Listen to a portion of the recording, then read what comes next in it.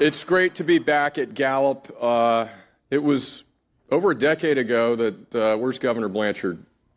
Jim Blanchard, our former chair, uh, and Jim Clifton, uh, the chair of Gallup, uh, conceived of this summit as an opportunity to bring leaders in government and business and the diplomatic community together to try to deal with shared challenges. And a lot has changed in diplomacy uh, since that. And Meridian is at the vanguard of trying to open up the aperture of diplomacy to bring in more actors, private sector, scientists, astronauts, athletes, cultural leaders, mayors, governors, because the government cannot solve our international challenges by itself. Uh, they need the help of all of us. And so we're delighted to have you as part of our Meridian family. I would like to uh, mention that there are a, couple of uh, little questions that will be asked. One I have, which is uh, I think I know what the answer is going to be, but I would invite each of you to uh, to scan uh, the QR code um, on the screen. Um, and the question uh, that you will be prompted to answer is: In five years, will the geopolitical situation be more or less stable? So, are you an optimist? Are you a pessimist? Are you a glass is half full? Uh, and can we put the QR code back up? Oh, there it is. So, Governor Blanchard, uh, your ears should be burning. I was giving you uh, credit for being present at the creation of this event many years ago.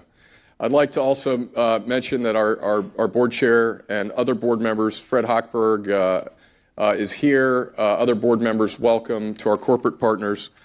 in particular, I would like to thank HP, our, our corporate chair this year, AWS, um, and our global uh, innovation, AWS, our, our, our, global engagement chair, and global innovation chair is EV Passport, and you, you will see uh, terrific executives from those companies. And I'd also like to thank uh, the Ambassador Circle, CoStar, SCM, our media partner Politico, um, and of course Gallup.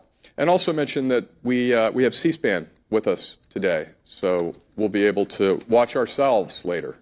Um, I wanted to just say what a privilege it has been uh, over the last uh, 17 years to be uh, at Meridian International Center. The, the, the mission is more vital, um, regardless of the outcome of the election. Uh, the fact that the United States needs to remain engaged and we need to offer hope uh, and partnership and strengthen alliances, uh, strengthen partnerships, all the big challenges that we're going to face in the future require international cooperation diplomacy, and that's at the heart of what we do.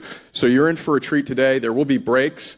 There will be catalyst discussions uh, during some of the breaks. Encourage you to get to know each other and, and meet each other. I think some of you all, I see Rich Guggenheim, who flew all the way from San Francisco.